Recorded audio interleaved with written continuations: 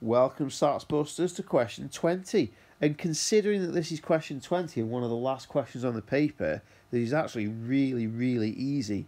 What might catch some people out on this is just the fact that there's quite a bit of writing, but the actual maths is very, very easy. You're very lucky that this is a question 20.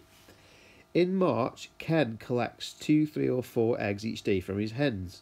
In the first 20 days, he's got 57 eggs altogether. There are 31 days in March. What's the greatest number of eggs he can collect in March? So in his first 20 days, he's got 57. So we need to bear that in mind. But then there are an extra 11 days. So we need to think about this extra 11 days. Now we're trying to find the greatest number of eggs he could get. Well, the least number of eggs he, eggs he could get each day is 2. So if he got the least number of eggs each day, he would be getting 11 lots of 2.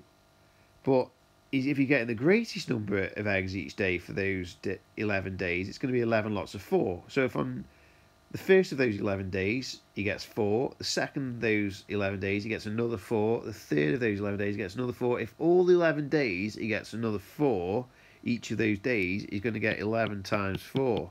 And that is 44. Remember, he can't get any more than 4 eggs on any one day. So basically, in the first 20 days, he's got 57 eggs. In the final 11 days, he's going to get the most he possibly can, which is 44. All we need to do is do 57 add 44.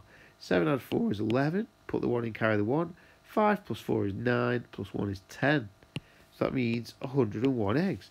So the most he can possibly get in March is 101 eggs.